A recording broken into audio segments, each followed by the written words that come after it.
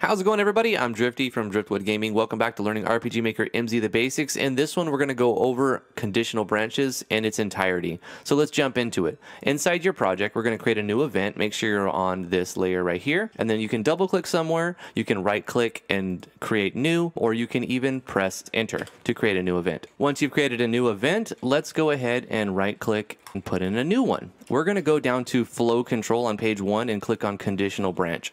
And we're going to talk about everything there is to know about conditional branches. Pretty simple. A conditional branch is going to help you control the flow of your game and the flow of your event and what happens. And you can specify all of your conditions here in the conditional branch. We have four pages. We're going to go over these four pages and everything individually.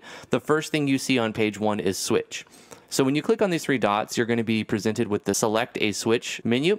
And you can add maximum if you need to make space by clicking here. Now you have more space right here. This may look different depending on your display properties, which you can change if you go to tools, options, and then the object selector. I have selected smart, which will alternate between drop down and extended depending on the number of things that it's going to be displaying. So if it looks different, check that out. So the first thing is switch. We're going to pick a switch. You can pick whichever switch you want. You can create a new switch. You can make a conditional statement that checks if the switch is on or if the switch is off.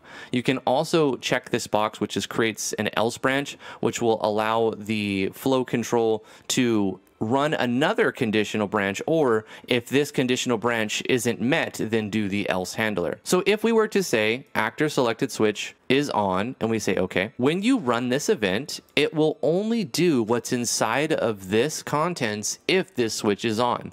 That gives you, the dev, control over the flow of the game. And if a NPC is going to say what you want it to say, you can have it check to see if the player has met all the conditions to get the reward or whatever it may be. The next one is a variable and it works the same way as a switch except it's not off or on. We have a lot more functionality with the variable. So let's just take any variable here and then the next drop down we have is going to determine how to interpret the constants or the variable that it's passing through. So in this case, if we say variable random x location is equal to zero and hit OK, the contents of this conditional branch will only run if this variable equals zero. We can change this to say greater than equals zero. So now this will run if it's anything above zero. We can set it to be less than or equal, and we can say like maybe 10.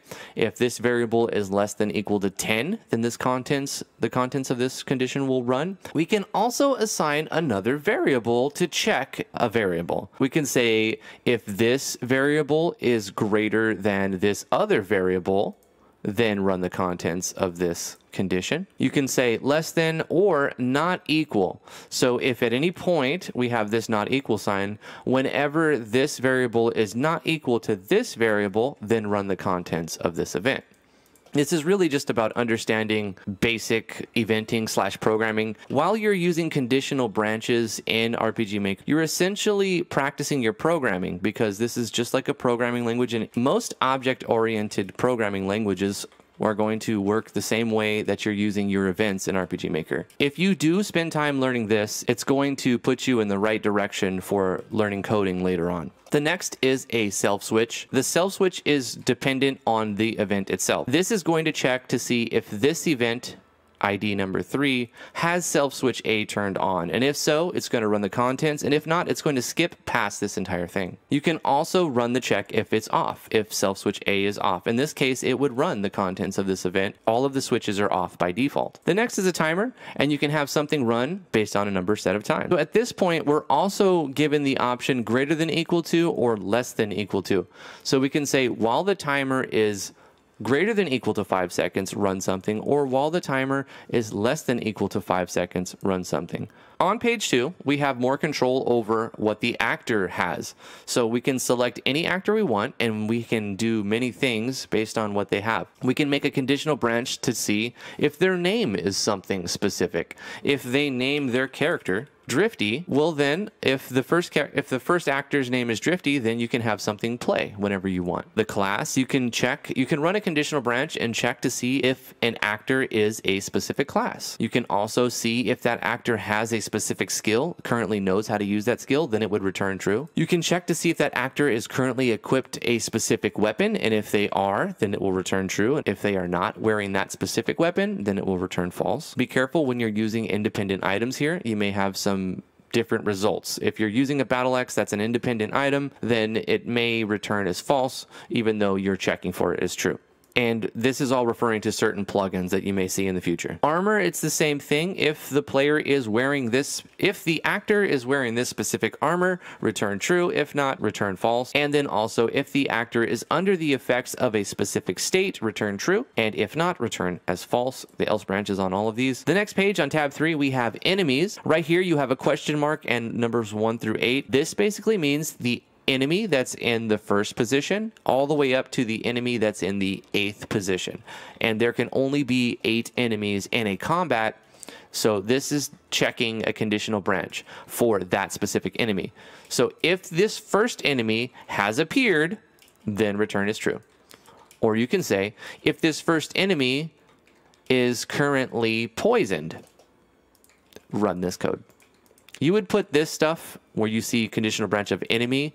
Most likely, this would not be in the contents of a regular event. Instead, you would go into your troop events. Inside your troop events, this is where you would use the conditional branch selecting an enemy. So in this instance, you see how the question mark populated with the goblin? That's because it's looking at the enemy in slot number one for this troop. So you definitely are going to use tab 3 inside the troop events instead of a regular event. You could instead use this inside a common event and then call this common event from the troop events and insert the common event right here. The next is for a specific character or event, and you can check their facing. So you can see if the player is facing down, facing left, right, up. If this event, whatever event you're putting this on, of course, you wouldn't use this inside the troop events. So let's get rid of this. Go back to our other event that's on the map. If the player is facing down, or if this event is facing left, you know, return is true. And if they're not facing left, it will return as false. And when it returns as false, it just skips the code. It does not run. Next, you can check to see if a ship, airship, or boat is currently being driven. You could have something special happen like a new weather event or some kind of animation being played when you're only on the airship. You can have like uh, maybe clouds appear while you're on the airship. If you set this to a parallel and you've got while the airship is being driven, display cloud PNGs with a cooldown or whatnot there's a lot of things you can do with it. And finally, on page four, we have a lot of different things we can do. We can check to see how much gold the party has, greater than, equal to, less than, equal to, or just less than. This is to check to see if the player has the right resources before you give them the bonus. For example, if you go to a inn and they say you have to have 100 gold to rest, you can say, does the player have greater than 100 gold? And if they do, then you can let them rest, continue, continue, blah, blah, blah, change gold, take the 100 gold, yada, yada.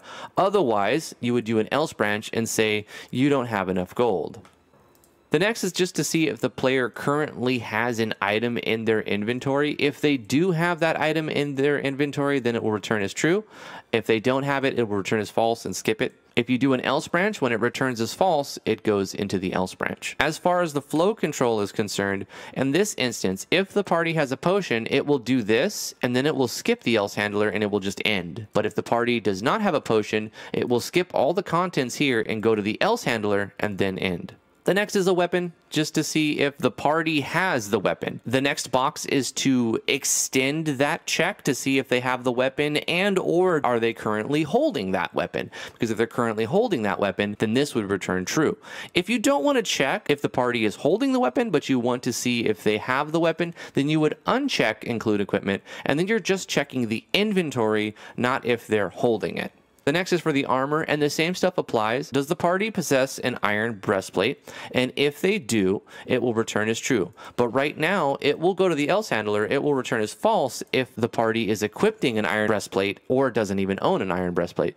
If you want to include the equipment, you have to check the box, obviously. So now, if the player is wearing the iron breastplate, it will return as true and run this code and then end instead of the else handler. So the next one is button, and you can select several different buttons to choose from. And you have three options for this conditional branch. You have is being pressed, is being triggered, and is being repeated. The first one is being pressed means the conditions will count as being met the entire time that the button is pressed. So if you're holding it down, the conditions will be met. The next one is being triggered, and this will count as being met only in the initial moment that the button is pressed. So triggered is when you want something to happen just once, when you press that button one time. The next one is being repeated, and this one's a unique one. In the help file, you can find the specifics of this if you forget. It says while the button is continuing continually pressed, the conditions will count as being met in the initial moment the button is pressed, then 24 frames after, then every six frames after that. So TLDR, when you're holding it down, it's going to trigger the moment that it is pressed and then almost half a second later and then 10 times a second after that. The next is a script call. You can insert whatever script call you want inside this conditional branch. If the first game variable is zero, then return is true, otherwise return is false. And all variables start as zero and all switches start off. That's important to know. So this will return true. That's pretty much it for conditional branches. It's really simple. If you have any questions, put them in the comments below. Come join us on Discord. Like this video if you liked it. Subscribe to the YouTube channel if you're not already. Big shout out to Degica for sponsoring this video. Thank you so much. Hopefully this video has been helpful to you or informative in some way. If it has been, please give the video a thumbs up and we'll see you guys in the next one. Bye-bye.